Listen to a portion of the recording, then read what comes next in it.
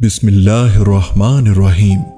वालिदैन अपने बच्चे को जितने अच्छे तरीके से जानते हैं, इस तरह और किसी के लिए मुमकिन ही नहीं।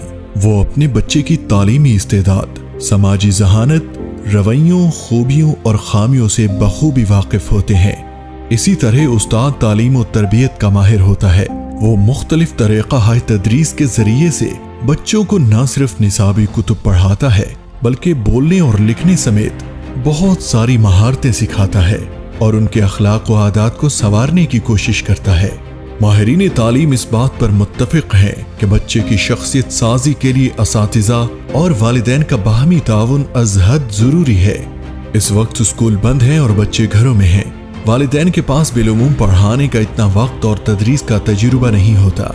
यही वजह है कि इस वक्त उस्ताद के बगैर वालदेन अपने बच्चे के तालीमी सिलसिले को आगे बढ़ाने में खासी मुश्किल का सामना कर रहे हैं। वक्त का तकाजा है कि हम अपने बच्चों के स्कूल और इस से रबते में रहें। वक्तन फवक्तन उनसे अपने बच्चों के लिए तालीमी मवाद और रहनुमाई लेते रहें। अपने बच्चों की स्कूल फ़ीस बर वक्त जमा कराएँ ताकि एक तरफ़ हमें अपने बच्चों के तालीमी सिलसिले के लिए रहनुमाई मिलती रहे, दूसरी तरफ़ उस्ताद स्कूल से वाबस्ता रहे और स्कूल कायम रहे। वाजे रहे, प्राइवेट स्कूलों की बका हमारी फीसों से है। बर वक्त फ़ीस अदा न करने की सूरत में उस्ताद तनख्वाह से महरूम रहेगा। ऐसी सूरत में खुदा न खास्ता अगर उसने तदरीस को छोड़ दिया तो स्कूल खुलने के बाद एक और बहरान का सामना होगा।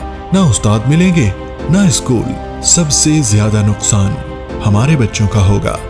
अपने बच्चों के मुस्तकबिल के लिए स्कूल से ताउन जारी रखें।